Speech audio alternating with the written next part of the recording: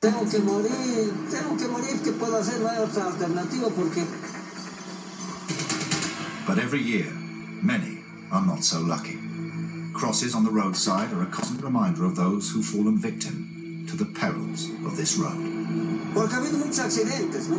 Que es inseparable hasta el momento, ¿no?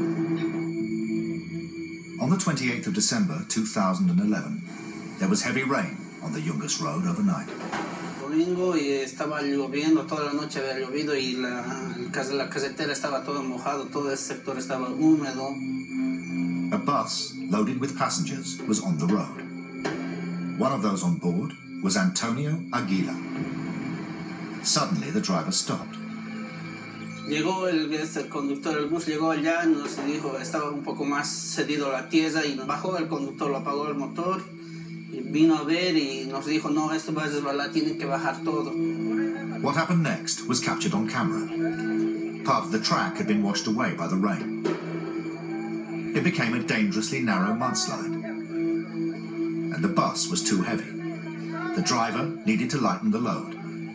But some were reluctant to move. Tres señores de edad no quisieron bajar, pero el señor conductor les dijo, todos tienen que bajar porque estamos llevando carga más y es pesado, este lugar nos podemos roncear. Eventually, the old men got off, and the driver inched forward.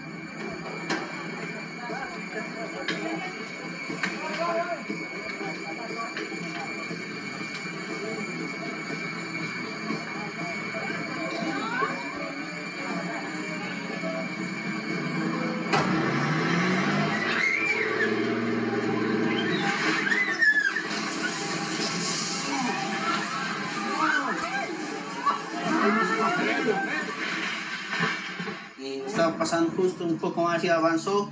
La rueda trasera resbaló a este lado. Todos gritábamos, gritábamos y de repente no ya desapareció, ya no, ya no había flota. The bus fell 1,000 feet.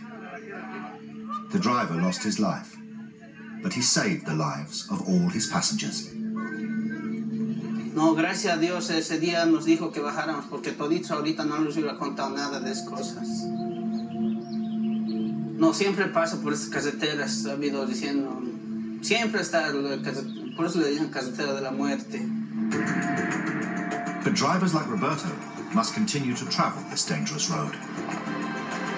Bueno, tú ya estás curtido también de viajar y casi no se siente porque ese es nuestro compromiso, de ser un conductor, de ser un chofer. El compromiso de llevar una, una herramienta de trabajo.